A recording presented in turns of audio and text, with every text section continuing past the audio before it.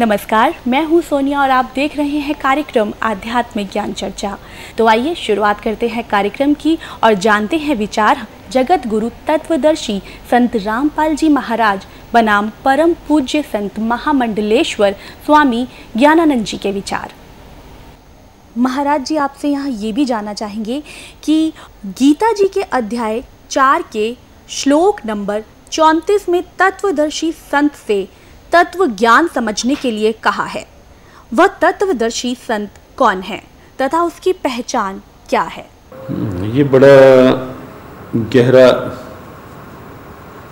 और कुछ कुछ जटिल सा प्रश्न है। श्लोक बहुत महत्वपूर्ण है और भगवान श्री कृष्ण की बड़ी सीधी प्रेरणा है इसी श्लोक में तद्विधि प्रणिपातेन परिप्रश्न सेव्या उपदेक्षन्ति ते ज्ञानम ज्ञानिन तत्वदर्शिन भगवान ने कहा, उस ज्ञान की प्राप्ति के लिए तो तत्वदर्शी महापुरुष का आश्रय ले। एक बात तो ये है कि भगवान कृष्ण सर्वज्ञान संपन्न है। तत्वदर्शी महापुरुष वो हैं जिन्होंने उस तत्व का साक्षात्कार लिया है। तत्व स्वयं परमात्मा है। स्वयं परमात्मा श्री कृष्ण हैं। श्री कृष्ण ये वाणी बोल रहे हैं, लेकिन फिर भी एक परंपरा का निर्वाह कर रहे हैं कि महापुरुषों के द्वारा ये ज्ञान मिलेगा, गुरु परंपरा से ये ज्ञान मिलेगा।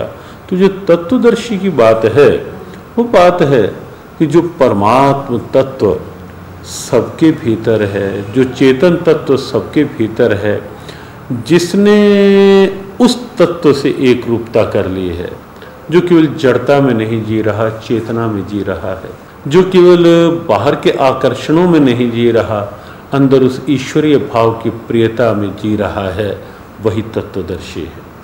जिसके लिए स्थितियाँ अनुकूल प्रतिकूल सम हैं। जिसके भीतर अपेक्षा नहीं और मिल गया तो यद इच्छा लाभ संतुष्टा मिल गया तो उसका प्रसाद मान करके स्वीकार है और उसका प्रसाद मान के बांटा जा रहा है। तो ये स्थिति जो है सहज। और जहाँ तक पहचान की बात है, कैसे पहचाने? देखो पहचान तो जब हम कहीं बैठेंगे तो पहचान हो जाती है, जिसकी सन्निधि ईश्वर की ओर आकर्षित करे। यदि हमारे मन की जिज्ञासा है तो उस महापुरुष का भाव हमें ईश्वरीय भाव की ओर प्रेरित करता हुआ दिखेगा। उस महापुरुष की सन्निधि से हमारे भीतर की बुराइयों का दमन होता दिखेगा। भीतर की अच्छाइयाँ प्रकट होती दिखेंगी और हमें भी लगेगा कि इस महापुरुष की स्थिति आनंद, सहजता हमें भी उस दिव्यता की ओर, उस तत्व की ओर आकर्षित करती हुई दिखेगी। पहचान तो सन्निधि से स्वतः होने लगती है। बाह्य रूप में हम कहें तो बाह्य रूप में लक्षण, बाह्य वेशभूषा पहचान नहीं है। बाहर का कोई लक्षण पहचान नहीं है। पहचान तो अंदर की अवस्था ही है, जो गीता ने स्थित प्रज्ञा के रूप में कही कि संसार में रह रहा है, लेकिन संसार की चाह नहीं है। संसार में रह रहा है, लेकिन अनुकूल प्रतिकूल परिस्थितियों में अपने आप को सम रखा रखे हुए है। जो मिल गया जैसा है, उसमें संतुष्ट है, प्रसन्न है। ऐसे ढेरों लक्षण गीता ने बताए। तो ये थे स्वामी ज्ञानानंद जी के विचार। और आइए अब जानते हैं जगत गुरु तत्वदर्शी संत रामपाल जी महाराज के विचार। दंडवतम गोविंद गुरु बंधु अविजन सोए पहले भये प्रणाम तिन नमो जो आगे ओए गीता जी अध्याय नंबर पंद्रह की एक से लेकर चार तक स्पष्ट किया है, ऊपर को जड़ वाला, वो तो परम अक्षर ब्रह्म है। और नीचे को तीनों गुण रूपी शाखा वाला, उल्टा लटका संसार रूपी वृक्ष है। और जो संत इसके सभी विभाग बता देगा स वेदविद, वह वेद के तात्पर्य को जानने वाला था वो तत्वदर्शी संत है। परमेश्वर कबीर जी ने ये पूर्ण परमात्मा है, और इन्होंने अपने ज्ञान को बताने के लिए स्वयं अपने सतलोक से यहाँ आते हैं, गति करके। इसका वेद गवाह है। और वही यथार्थ ज्ञान प्रचार करते हैं, अपने पुण्यात्माओं ज्ञान से तृप्त करते हैं। परमेश्वर ने 600 वर्ष पहले कबीर देव जी ने आकर कहा था कि अक्सर पुरुष एक पेड़ है, निरंजन वा की डार और तीनों देवा शाखा है, ये पात रूप संसार। ये देखिएगा, ये उल्टा लटका हुआ संसार रूपी वृक्ष है। ये तनात इसका अक्सर पुरुष कहो, चाहे परब्रह्म कहो। और ये गुप्त है, ये परमात्मा प्रोक्ष है। ये दुर्वेद के अध्याय नंबर चालीस के मंत्र नंबर सत्रह में कहा कि वो तो पूर्ण परमात्मा तो प्रोक्ष रूप है, वो तो गुप्त है, जड़ छुपी रहती है ज़मीन में और उससे बाहर जो दिखाई देता उसका वर्णन है। अक्सर पुरुष एक पेड़ है, ये सर पुरुष कहो या इसको ब्रह्म कहो सर ब्रह्म कहो। सर पुरुष वा की डार और रजगुण ब्रह्मा सतगुण विष्णु तम गुण शिव जी, ये तीनों देवा शाखा है और पात्र संसार। अक्सर पुरुष एक पेड़ है निरंजन वा की डार ये सरपुरुष वा की डार और तीनों देवा शाखा है, ये पात्र रूप संसार। ये देखो। अक्सर पुरुष, ये तो तना है, और इसकी मान लीजिए ये डार है, सरपुरुष, और ये तीनों देवा शाखा है। रजगुण, ब्रह्मा सतगुण विष्णु शिव शिव जी और पात रूप संसार। ये परमेश्वर कबीर जी की वाणी है। कबीर अक्सर पुरुष एक पेड़ है, निरंजन, यानी छर पुरुष को निरंजन भी कहते हैं। उसकी डार और तीनों देवा, रजगुण, ब्रह्मा सतगुण विष्णु शिव जी शाखा है, ये पात रूप संसार। इस परमेश्वर ने पहले ही बताया था, ये पूर्ण परमात्मा जो है, ये प्रोक्ष है। ये परम अक्षर ब्रह्म, ये जड़ है। ऊपर को जड़ वाला, नीचे को तीनों गुण रूपी शाखा वाला। ओहो। ये उल्टा लटका हुआ संसार रूपी वृक्ष है। और जो संत इसके सभी विभागों सहित बता देगा, जड़ क्या है, तना क्या है, डार क्या है, शाखा क्या है सवेद वित, गीता अध्याय नंबर पंद्रह के श्लोक नंबर एक से चार का इसका सारांश सुना रहे गीता अध्याय नंबर पंद्रह के श्लोक नंबर एक से चार में कहा कि उस तत्वदर्शी संत मिल जाए, उसके पश्चात परमेश्वर के उस परम पद की खोज करनी चाहिए। जहाँ जाने के बाद फिर साधक लौट कर फिर कभी संसार में नहीं आता और जिस परमेश्वर ने सौर्य ब्रह्मंडों की रचना की है, और मैं भी उसी की शरण हूँ, उसी की पूजा करनी चाहिए। अपनात्मा गीता जी अध्याय नंबर आठ के श्लोक नंबर एक में अर्जुन ने पूछा कि प्रभु, आपने जो गीता जी अध्याय नंबर सात के श्लोक नंबर उनतीस में कहा कि मेरे इस ज्ञान को आश्रय करके उस तत्वदर्शी संत की खोज करो, गीता जी अध्याय नंबर चार के श्लोक नंबर चौंतीस में कहा है। तत्वदर्शी संत से वो तत्व ज्ञान सुनो, समझो उस परमात्म तत्व के बारे में वो तत्वदर्शी संत बताएँगे। जिन्होंने वो तत्वदर्शी संत मिल गया, उन्होंने सारे अध्यात्म ज्ञान को समझा और सभी कर्मों से परिचित हुआ और वो तत्व ब्रह्म से परिचित हुआ, फिर वो जरा और मरण से मुक्ति के लिए ही, छुटकारे के लिए ही वो साधना यत्न करता है, प्रयत्न करता है। वो इस संसार की किसी वस्तु की डिमांड नहीं करता। उस तत्ब्रह्म को जान लेता है। तो यहाँ गीता जी अध्याय नंबर आठ के श्लोक नंबर एक में अर्जुन ने पूछा, किम तत्ब्रह्म? वो तत्ब्रह्म क्या है जिसके जानकर फिर कुछ किसी वस्तु को जानना, किसी वस्तु की डिमांड नहीं करता, जरा और मरण से मोक्ष प्राप्ति ही चाहता है? तो वो किम तत्ब्रह्म? अब गीता ज्ञानदाता आठवें अध्याय के तीसरे श्लोक में उत्तर देता है कि वो परम अक्षर ब्रह्म है।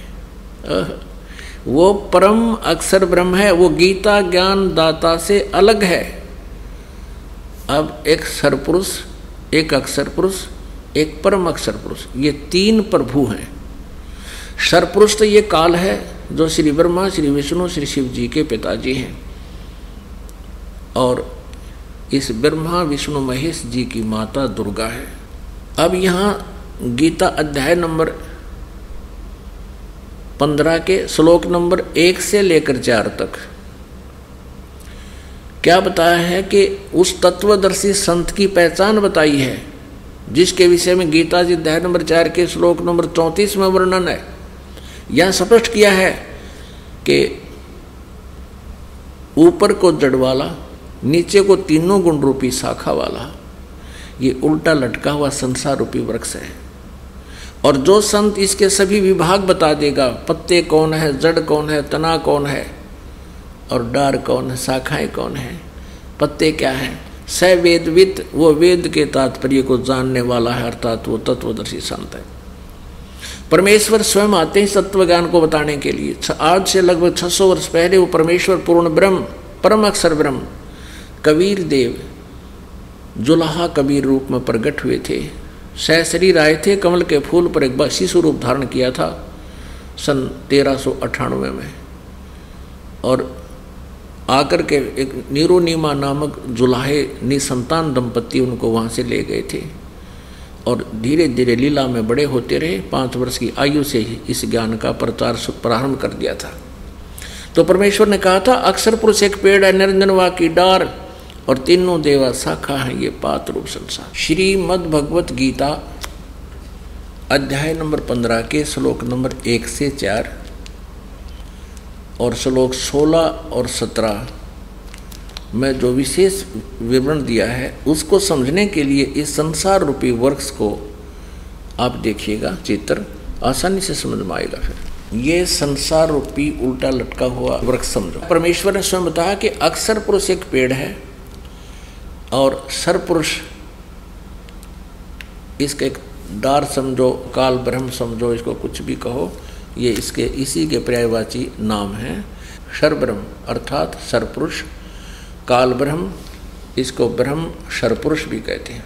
सरपुरुष ये ये तो डार समझो, इस संसार रूपी वृक्ष की, और तीनों देवा, रजगुण ब्रह्मा सतगुण विष्णु, तमगुण शिव जी रजगुण ब्रह्मा जी, सतगुण विष्णु जी, तमगुण शिव जी, ये तो शाखाएँ हैं और हम यहाँ पात रूप संसार। अब इस आशय को समझने के लिए अब ये गुप्त कौन है, ये जड़ कौन है, ये परम अक्षर ब्रह्म है। परम अक्षर पुरुष कहो, परम अक्षर ब्रह्म कहो, या पूर्ण ब्रह्म या परमेश्वर कहो, परम अक्षर ब्रह्म कहो। ये गीता जी अध्याय नंबर पंद्रह के श्लोक नंबर सोलह और सत्रह में ये कंसेप्ट बिल्कुल क्लियर है। तीन भगवान हैं। एक तो परम अक्षर ब्रह्म, यानी परम अक्षर पुरुष कहो, परम अक्षर ब्रह्म कहो। ये तो जड़ है पूरे संसार रूपी वृक्ष की, यहीं से सबको उत्पत्ति होती है और यहीं से सबको आहार मिलता है, सबका धारण पोषण यही करता है। फिर तना जो ज़मीन से बाहर दिखता है, उसको अक्षर पुरुष पर ब्रह्म भी कहते हैं, अक्षर पुरुष भी कहते हैं। और उसके फिर एक डार है, वो सर पुरुष है। ये ब्रह्म है, जो गीता बोल रहा है। और तीनों देवा रजगुण, ब्रह्मा सतगुण विष्णु, उत्तम गुण शिव जी, ये शाखा हैं और हम पात रूप संसार। अब रजगुण, ब्रह्मा है सतगुण विष्णु तम गुण शिव जी। ये भी कंसेप्ट यहाँ क्लियर होना चाहिए, तब जा करके हमारे ये हृदय में समावगा ये ज्ञान तत्व ज्ञान क्योंकि आज तक हमने लोकवेद सुना है दंत कथा सुनी है, गीता जी का अनुवाद भी हमने गलत पढ़ा है। ये देखिएगा मारकंडे पुराण, सचित्र मोटा टाइप, केवल हिंदी। गीता प्रेस गुरुपुर से प्रकाशित है। और इसके, ये प्रकाशक मुद्रक गीता प्रेस गोरखपुर इसके 123 पृष्ठ पर आप देखिएगा। 122 123 पृष्ठ पे। संक्षिप्त मार्कंडे पुराण। ये है क्रॉक्सटू की ने कहा, भगवान ये सारे यही बता रहे हैं। इस तरह स्वयंभू परमात्मा की तीन अवस्थाएँ होती हैं। रजोगुण प्रधान, ब्रह्मा, तमोगुण प्रधान रुद्र और सतोगुण प्रधान विश्वपालक विष्णु जी हैं। ये ही तीन देवता हैं और ये ही तीन गुण हैं। स्पष्ट हो गया। यही तीन देवता हैं और यही तीन गुण हैं। रजगुण कहो, सतगुण कहो, तमगुण, ये तीनों देवता कहो, चाहे तीनों गुण कहो। और देखिएगा श्रीमद देवी भागवत हिंदी ठीक है भाग एक। ये कहाँ से प्रकाशित है? अथ देवी भागवतम सभाष्टिकम समात्यम। खेमरा श्री कृष्ण दास प्रकाशन बम्बई चार। इसके हम तीसरे भाग पर आते हैं, तीसरे स्कंद में। ये देखिएगा। अथ श्रीमद देवी भागवते भाषा टीका युक्ते तृतीय स्कंद प्रारंभते। इसके ग्यारह पृष्ठ पे और यहाँ देखिएगा। अध्याय पाँच, तीसरा सकंद, इसका आठवां श्लोक। हे माता, शंकर भगवान बोल रहे हैं शिव जी हे माता, यदि हमारे ऊपर सदा आप दया युक्त हो तो हमको तमोगुण में किस प्रकार प्रधान किया है? ब्रह्मा रजोगुण और हरि सतोगुण युक्त क्यों किए? फिर देखिएगा। अब हम संस्कृत पढ़ेंगे। ये सातवां समाप्त हुआ, आठवां श्लोक। यदि दया धर्मना न सदापि के कथम अहम विहित है शंकर भगवान कह रहे हैं, किस प्रकार मैं बना दिया? तमोगुण है तमोगुण है कमल जय। कमल से उत्पन्न होने वाले ब्रह्मा को आपने रजोगुण संभव, क्यों रजोगुण उत्पन्न कर दिया? सुवित किमो सतोगुण हरि। और किस प्रकार आपने विष्णु जी को सतोगुण बना दिया इति सिद्धम रजगुण ब्रह्मा सतगुण विष्णु, तमगुण शिव जी और मार्कंडे पुराण में आपने कलियर सुन लिया कि यही तीन देवता हैं, आप स्वयं पढ़ा, और यही तीन गुण हैं, रजगुण ब्रह्मा, सदगुण विष्णु तम गुण शिव जी अब श्रीमद भगवत गीता जी अध्याय नंबर पंद्रह के श्लोक नंबर एक से लेकर चार को समझना अति आसान हो जाएगा, ये देखिएगा। श्रीमद देवी भागवत। जयदयाल गोविंद का इसके अनुवादक हैं, गीता प्रेस गोरखपुर से प्रकाशित हैं। अध्याय नंबर पंद्रह पंचदश अध्याय। और मंत्र नंबर, श्लोक नंबर एक में आदि पुरुष परमेश्वर मूल वाले ऊर्धव मूलम अध शाखम अश्वथम प्राहु अव्यम। छंदासी यस्य प्रणानी, ये तम वेद स वेदवित ऊपर को जड़ वाला अध शाखम नीचे को शाखा वाला। ये संसार रूपी ये अविनाशी पीपल का वृक्ष है। और छंदासी यस्य प्रणानी, इसके पत्ते जैसे ऊपर को जड़, शाखा और पत्ते आदि जो छंद हैं, भाग हैं, विभाग हैं। ये तम वेद, जो इसको जानता है स वेदवित वो तत्वदर्शी संत है। ये देखिए। आदि पुरुष परमेश्वर मूल वाले अध शाखम इन्होंने यहाँ गलत किया है। ब्रह्मा रूप शाखा, मुख्य शाखा वाले। ये गलत किया है। ये अधय माने नीचे होना चाहिए। देखो यहाँ इन्होंने इसी के पंद्रहवें अध्याय के दूसरे श्लोक में अधय माने नीचे किया है। अधय माने नीचे अधय माने नीचे। तो यहाँ भी अधय माने अधय शाखम प्रथम मंत्र में। अधय माने नीचे को शाखा वाला। आदि पुरुष परमेश्वर मूल वाले अधय माने नीचे को शाखा वाला, ये संसार रूपी पीपल के वृक्ष को अविनाशी कहते हैं, वेद जिसके पत्ते कहे गए हैं। उस संसार रूप संसार रूप वृक्ष को जो पुरुष, जो साध, जो व्यक्ति मूल सहित तत्व से जानता है, जड़ते लेकर पत्तों तक बता देगा, स वेदवित, वह वेद के तात्पर्य को जानने वाला है, वो तत्वदर्शी संत है।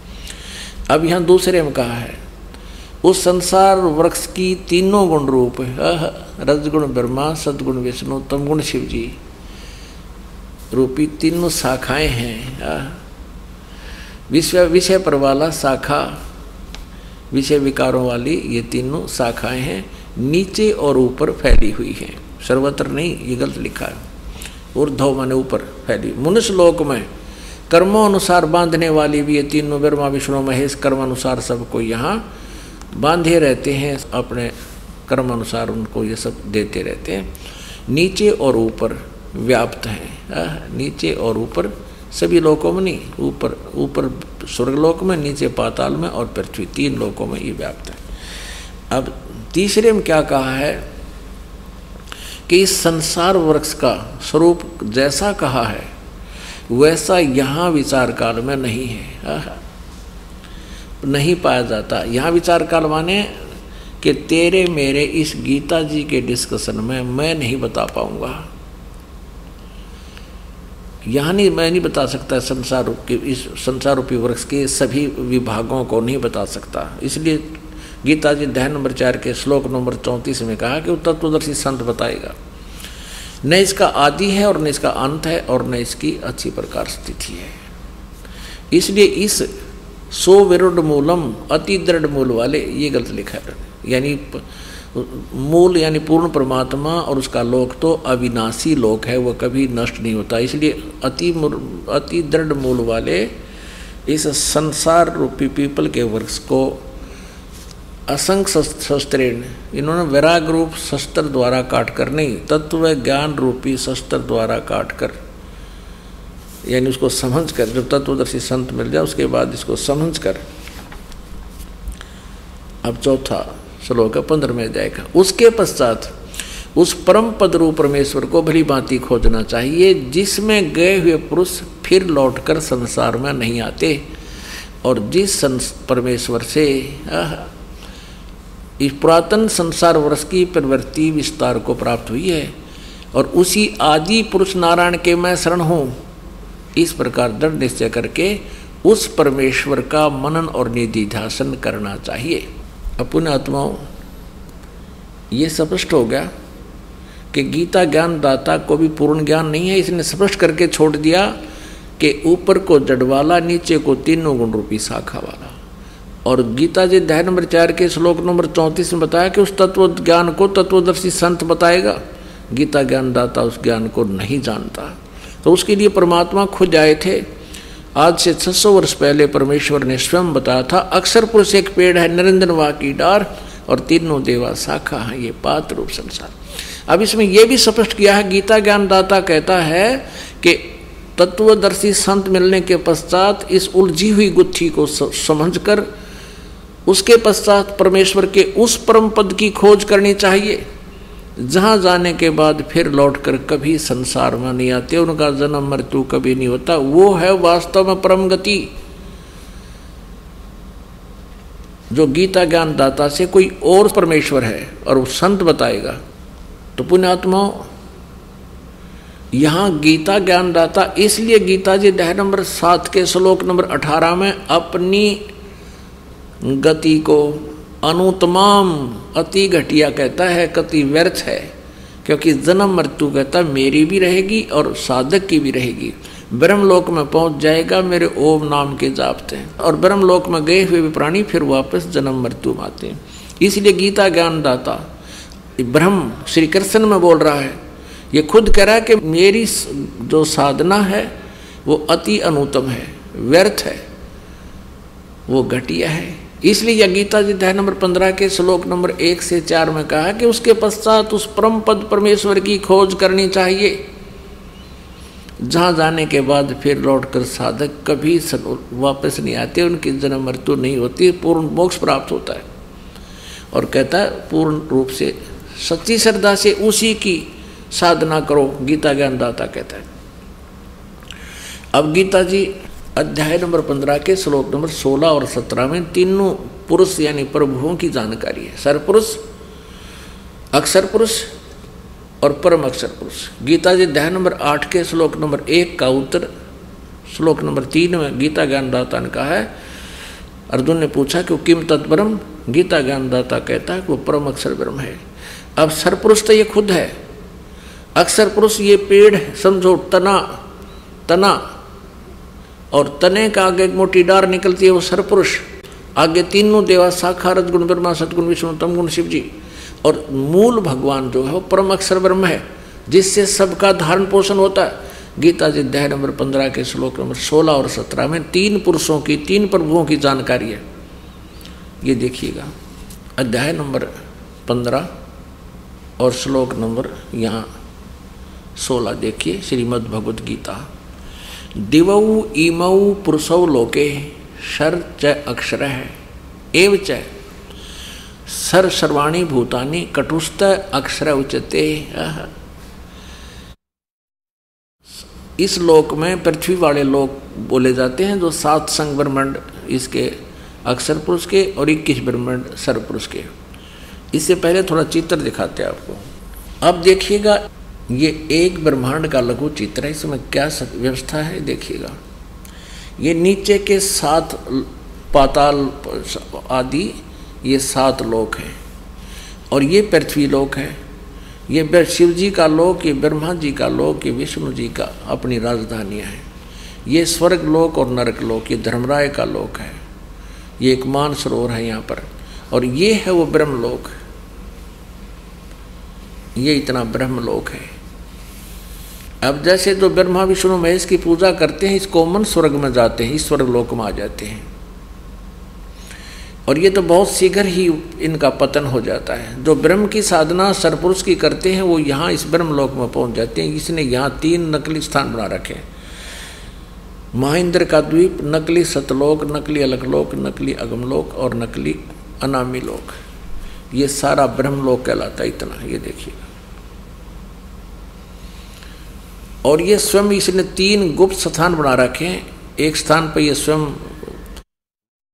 ब्रह्मा जी का रूप धारण करके रहता है और दुर्गा इसकी पत्नी है, उसको ये शावत्री रूप में रखता है। ये रजोगुण प्रधान अक्षेत्र है। ये एक सतोगुण प्रधान अक्षेत्र है, जिसमें यह स्वयं विष्णु रूप धारण करके रहता है और दुर्गा को लक्ष्मी रूप धारण करा के यहाँ रहता है। जब तक ये इसमें रहते हैं, उन, इनके दोनों के सृष्टि क्रम से जो पुत्र उत्पन्न होता है उसका नाम विष्णु रख देते हैं वो ऐटोमेटिकली सतोगुण हो जाता है।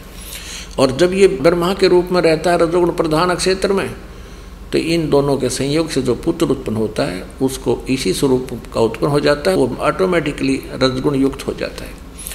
और यही काल ये सरपुरुष वह तीसरे तमोगुण प्रधान क्षेत्र में रहता है दुर्गा को पार, पार्वती रूप में रखता है स्वयं ये इस वेशभूषा में रहता है। इन दोनों के संयोग से जो पुत्र उत्पन्न होता है, वो ऑटोमेटिकली स्वाभाविक तमोगुण हो जाता है। और उसका नाम ये शिव रख देते हैं, सतोगुण से उत्पन्न पुत्र को विष्णु नाम रख देते हैं और इस एक क्षेत्र में जो उत्पन्न होता है, उसको ब्रह्मा नाम रख देते हैं, वो रजोगुण युक्त हो जाए तो ये एक ब्रह्मांड है ऐसा। ऐसा एक ब्रह्मांड है। ऐसे ऐसे 21 ब्रह्मांड का स्वामी ये काल है सरपुरुष ये देखिए। ये काल के 21 ब्रह्मांड, ये सरपुरुष भी कहते हैं इसको। अब जो आपने एक ब्रह्मांड ये देखा था पूरा, ये समझो अब ये एक गेंद सी होगी, गेंद। तो इस इसने पाँच ब्रह्मांडों का एक ग्रुप बना रखे ऐसे ऐसे चार महाब्रह्मांड बना रखे हैं। इसमें बीस ब्रह्मांडों को रोका हुआ है। और ये इक्कीस माह इसने अलग से अपनी एक राजधानी बना रखी इस प्रकार ये इक्कीस ब्रह्मांड का स्वामी है। और ब्रह्मा, विष्णु, महेश जी तो केवल इन तीन लोकों में, इस पाताल लोक पर, इस पृथ्वी लोक पर और इस स्वर्ग लोक पर एक एक विभाग के स्वामी हैं। रजगुण विभाग के ब्रह्मा जी, सतगुण विभाग के विष्णु जी और तमगुण विभाग के शिव जी। ये केवल एक ब्रह्मांड में इन तीन लोकों पर एक एक विभाग के अधिपति हैं बस। और ऐसे ऐसे 21 ब्रह्मांड हैं इस काल के। अब ब्रह्मा विष्णु महेश की सतिथि से आप परिचित हो जाओगे। ये पूरी सतिथि आप इससे समझेंगे तीनों भगवानों की। ये देखिएगा सरपुरुष अक्षर पुरुष और परम अक्षर पुरुष ये स, ये 21 ब्रह्मांड हैं जो अभी आपने देखे थे। अब ये इस अतिथि में आ गए हैं। ये तो सरपुरुष यानी काल ब्रह्म के हैं 21 ब्रह्मांड।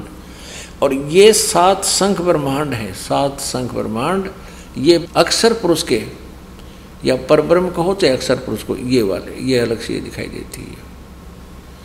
और ये पूरे असंग ब्रह्मांड का कुल मालिक इन पे भी इन पे भी उन सब पे जो मालिक है वो परम अक्षर ब्रह्म कबीर देव है, ये परम अक्षर ब्रह्म है।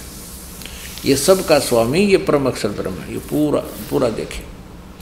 अब ये तीन भगवान समझ पाओगे सरपुरुष अक्षर पुरुष ये इतनी सीमा अक्षर पुरुष की, ये सरपुरुष की, और ये परम अक्षर पुरुष की, यानी पूर्ण प्रमाण अपने आत्माओं, ये है ये आध्यात्मिक ज्ञान और ये है गीता जी का ज्ञान। अभी तक ये दंत कथा सुना रहे हैं हमारे को, इनको कह कह का नहीं पता गीता जी के ज्ञान का। अब इसमें स्पष्ट क्रिया है कि पंद्रहवें अध्याय के सोलह और सत्रह में तीन प्रभु स्पष्ट लिखे। एक सरपुरुष ये इक्कीस ब्रह्मांड का स्वामी है। ये काल है जो गीता बोल रहा है, श्री कृष्ण में प्रवेश करके। और अक्षर पुरुष ये परब्रह्म है, जो सात संग ब्रह्मांड का स्वामी है। और तीसरा जो परम अक्षर ब्रह्म है, उत्तम पुरुषत्व अन्य परमात्मा इति उदारते ये देखिएगा। श्रीमद् भगवद गीता, अध्याय नंबर पंद्रह के श्लोक सोलह सत्रह। श्रीमद् भगवद गीता, अध्याय नंबर पंद्रह का। अब श्लोक नंबर, ये सोलह पंद्रहवें अध्याय का सोलह। दिवऊ इमऊ पुरुषौ, लोके, सर च, अक्षर एव च। सर सर्वाणी भूतानी, कटुष्ट, अक्षर उच्यते। यानी इस पृथ्वी वाले लोक में दो परमात्मा सुप्रसिद्ध हैं। एक सरपुरुष और एक अक्षर पुरुष अक्षर पुरुष तो तना है सरपुरुष ये संसार रूपी वृक्ष की एक मोटी डार है दिवऊ इमऊ पुरुषो, लोके सरज अक्षर इन दोनों सर और अक्षर पुरुष के जो लोक हैं, ये दो भगवान हैं इस लोक में। और इनके और इनके, जितने इनके अंतर्गत प्राणी हैं, उनके सथूल शरीर तो नासवान है, सब प्राणी नासवान है। जीव आत्मा आत्मा सबकी अमर है। यहाँ देखिएगा। अब देखिएगा, अध्याय नंबर पंद्रह का हम सोलवा श्लोक इन्हीं के अनुवाद सुनाते हैं। इस संसार में नासवान और अविनाशी भी ये दो प्रकार के पुरुष हैं, प्रभु हैं। दो प्रकार स्वामी हैं। संपूर्ण प्राणियों के शरीर तो नासवान है और जीवात्मा अविनाशी कहा जाता है। अभी सत्र में कहा है, उत्तम पुरुष है तो अन्य। उत्तम पुरुष है तो अन्य, परमात्मा इति उदाहरत ये लोक तरम आविश्य विभर्ती अवैश्वर है उत्तम पुरुष यानी श्रेष्ठ परमात्मा, सही, वास्तविक भगवान तो इन दोनों से, इस सरपुरुष और अक्षर पुरुष से भी कोई अन्य है, और है। पंद्रहवें का, सत्रहवा स्पष्ट कर रहा है। और उसको भगवान कहते हैं, वो परमात्मा कहलाता है। यह लोग त्रयमावश्य वृत्ति, जो तीनों लोग को प्रवेश करके सबका धारण, पोषण करता है, वो अवय ईश्वर है, वो अविनाशी परमात्मा है। अब पुण्यात्माओं ये स्पष्ट हो गया कि गीता ज्ञान दाता से अन्य और सुप्रीम पावर है। वो परम अक्षर ब्रह्म जो है, वो तीनों लोकों में प्रवेश करके सबका धारण पोषण करता है। वो मूल यानी जड़, उल्टा लटके हुए संसार रूपी वृक्ष के जो ऊपर जड़ हैं, वो जड़ मूल रूपी परमात्मा है और वही पूजा के योग्य है। उसी की पूजा करनी चाहिए। अब फिर देखिएगा एक चित्र को, आसानी से समझ में आएगा। ये पूरा संसार रूपी वृक्ष देखो। ऊपर को ऊर्धव मूलम अध शाखम। ऊपर को मूल परमात्मा रूपी जड़ वाला और नीचे को तीनों गुण रूपी शाखा वाला। गीता ज्ञानदाता ने केवल इतना ही बताया, ऊपर को तो जड़ है, वो समझो पूर्ण परमात्मा है और नीचे तीन गुण रूपी शाखा है। बाकी के बारे में बताया कि इस पूर्ण रूप से जानकारी मैं नहीं जानता, तत्वदर्शी संत बताएँगे। और गीता जी अध्याय नंबर पंद्रह के श्लोक नंबर एक में कहा कि इस सारे विभागों को इस पूरे संसार रूपी वृक्ष के सभी विभाग बता देगा सवेदवित वो तत्वदर्शी संत है।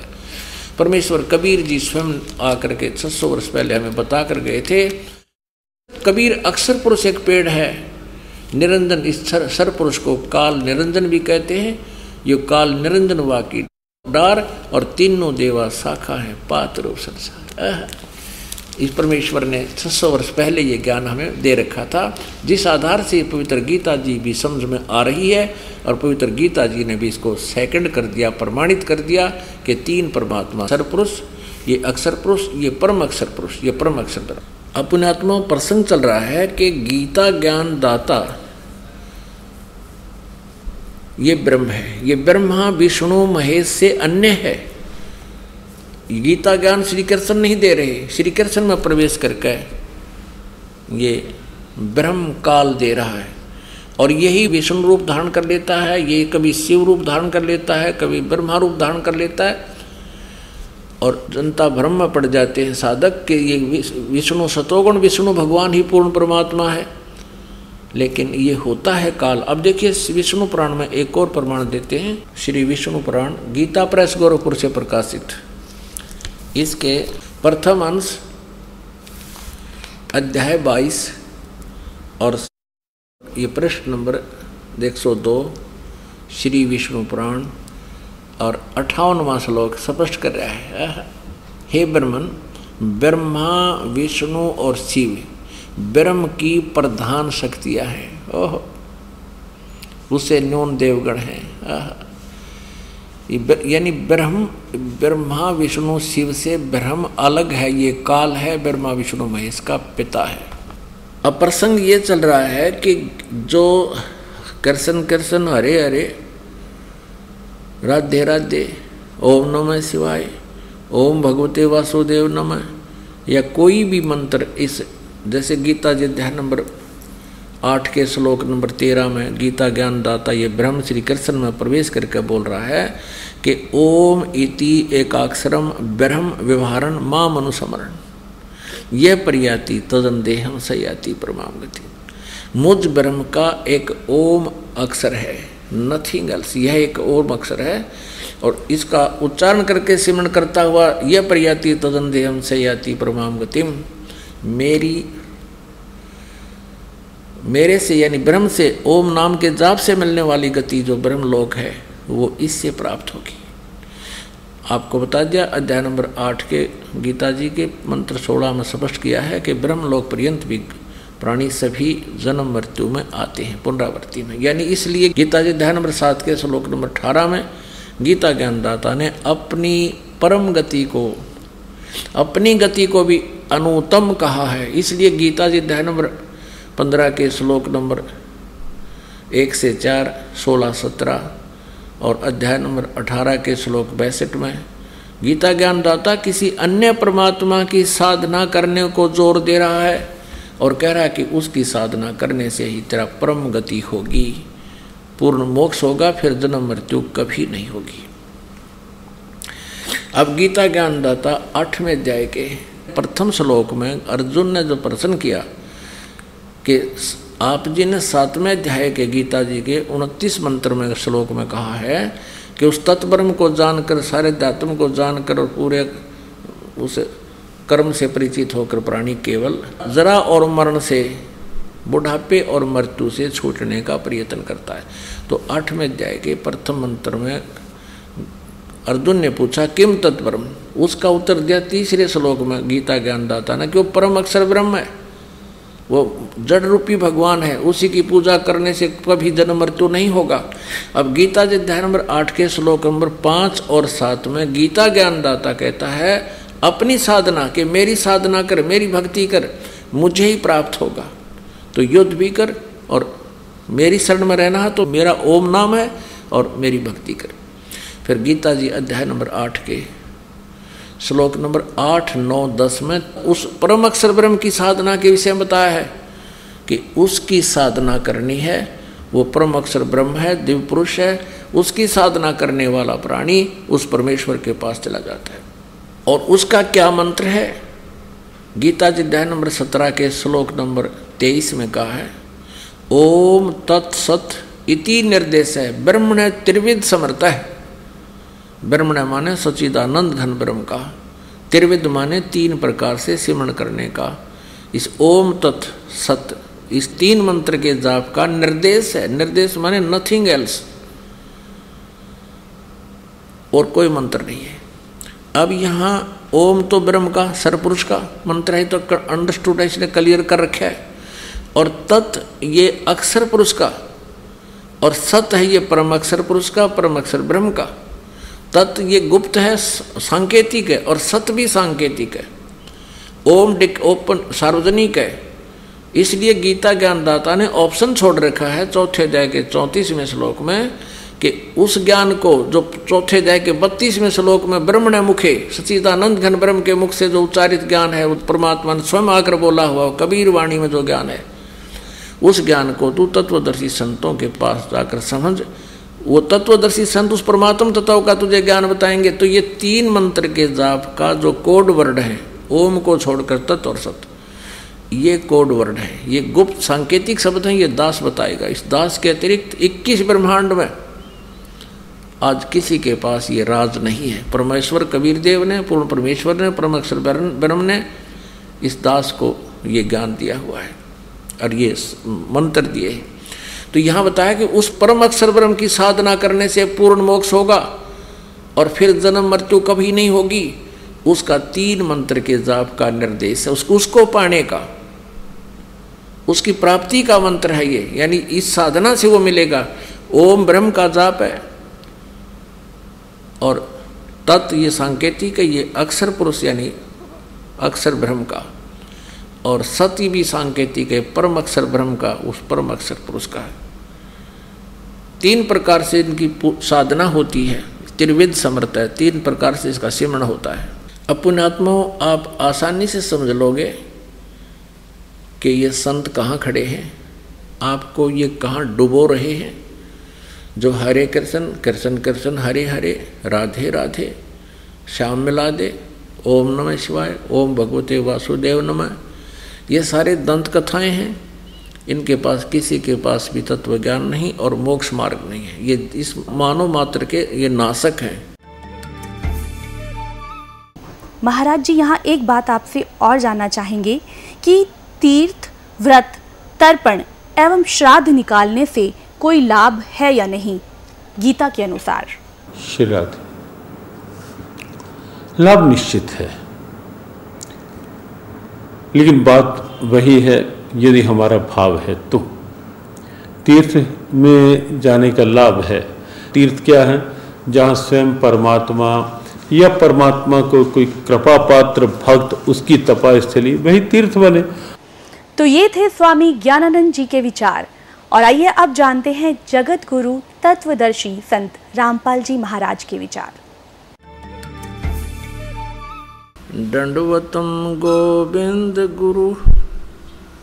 बंधु अविजन सोए। पहले भये प्रणाम तिन।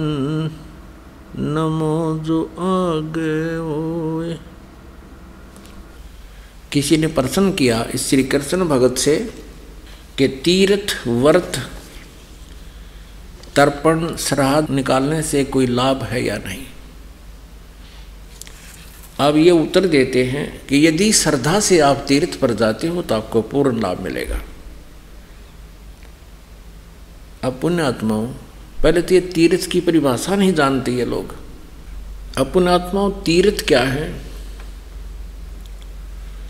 जैसे किसी स्थान पर किसी साधक ने अपनी साधना की और साधना करके वो जिस भी लोक में जाना था वहाँ चला गया। अब उस स्थान को देखने कोई जावे तो उसको क्या लाभ होगा? उसी साधक की तरह बैठकर या जैसे भी उसने साधना की, वो किसी भी स्थान पर आप कीजिए, तब आपको लाभ होगा। उस तीर्थ पर जाने से कोई लाभ नहीं होगा। जैसे एक अमाम दस्ता होता है, लोहे का उखड़ सा, डेढ़ एक फुट एक फुट, सवा फुट ऊँचा, आठ नौ इंच राउंड में, यानी गोल होता है। चौड़ा उसका। ब्यास होता है। और एक मुसल सा होता छोटा डंडा। जैसे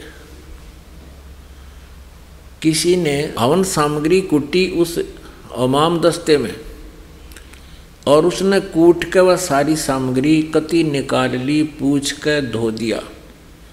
और वो अमाम दस्ता किसी का मांग कर ला रखा था। उसने धो मांझ के हमाम दस्ते को जिसका लाया था वापस दे दिया और अपनी सामग्री निकाल ली। अब उस अमाम दस्ते में से महक आ रही है थोड़ी थोड़ी अब घर वाले सदस्य उसको सूंघ रहे हैं, देख रहे हैं कि हाँ हाँ बड़ी अच्छी महक आ रही है। तो उससे कुछ दिन वह महक भी खत्म हो गई। तो ऐसे